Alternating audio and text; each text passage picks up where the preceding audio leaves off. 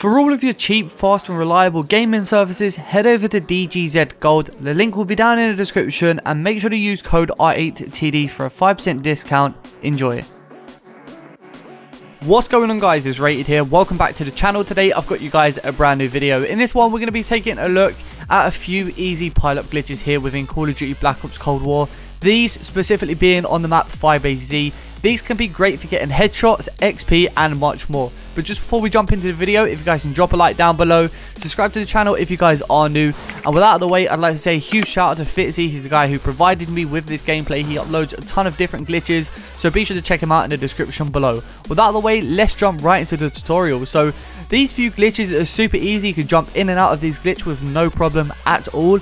You can go ahead, pack a punch weapons, and so on and so forth, which I'll be showing you guys within this video as well. Starting it off, I just want to show you guys a super easy AFK location that is on Firebase Z. If you go into this corner, as you can notice, all of the zombies stand completely still, and this glitch can be very useful if you need to go AFK in a public match. So just bear that one in mind. I'm not sure if many of you guys already knew about that glitch, but I thought I'd include it as the first glitch here in this video.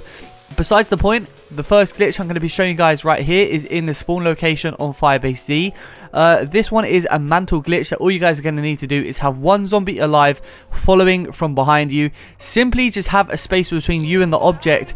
Jump up, walk back ever so slightly and you'll be on the corner of this barrier right here. Once you're on the corner of this box, all of the zombies will continue to pile up right beneath you, pretty much not hitting you at all. I would like to mention that zombies can hit you every so often, so just bear that in mind when doing this glitch. I'd recommend running um, the Ring of Fire, so if you do take any damage, you can clear out the zombies immediately.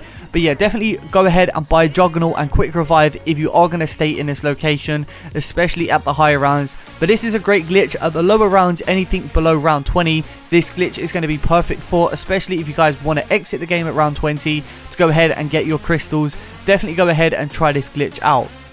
Now, I would like to mention just before we hop into the second glitch that I have for you guys in this video is that I want to know what you guys want to see uploaded on the channel next. So leave a comment down below what type of glitch you want to see. That being a camo glitch, another XP glitch, or a Crystals Aetherium glitch, or even maybe some multiplayer Dark Aether glitches. Let me know in the comment section below. I'd also like to know, as you guys just seen by the gameplay, you can pick up all of the drops from this location as well. So if the zombies drop any nukes, insta-kills, or max ammos, you can go ahead and pick those back up automatically, which is of course great for these lower rounds. With that out of the way, let's jump straight into the second glitch. So the second glitch I have for you guys also takes place in the spawn room, which is the courtyard here on Firebase Z. You guys are going to need to have Aether Shroud on and have that ability leveled up to 3. Spare that in mind when doing this glitch. From this location, you want to follow exactly where I go, do a sprint jump, and then activate your Aether Shroud in midair, and you'll be teleported on top of this ledge.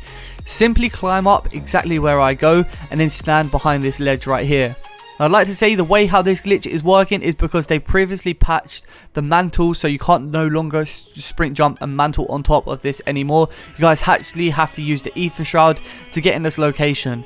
And once you are up here, the zombies will jump back and forth between these two locations. As you guys can see, this also includes the mimics as well, so they will not attack you.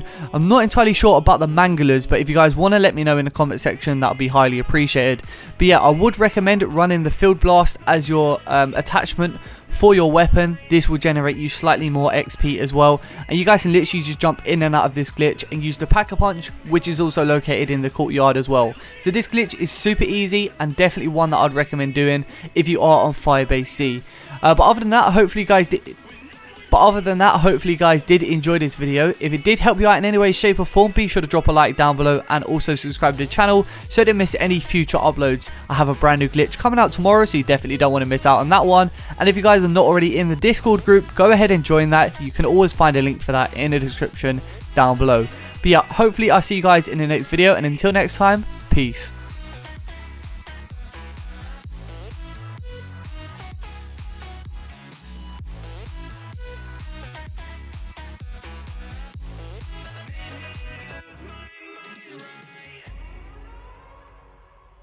Gon' burn it down. Burn it down. We gon' burn it down.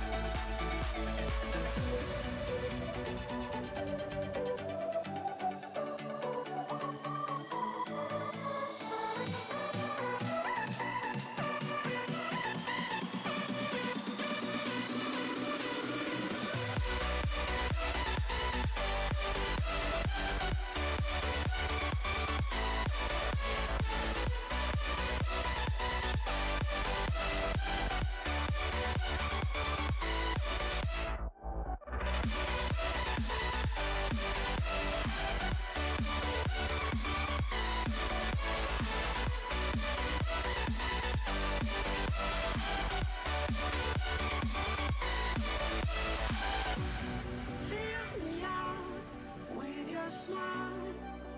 Now the sunshine brings the light. Fill me out with a flame. I will let you in this game. Dear me out.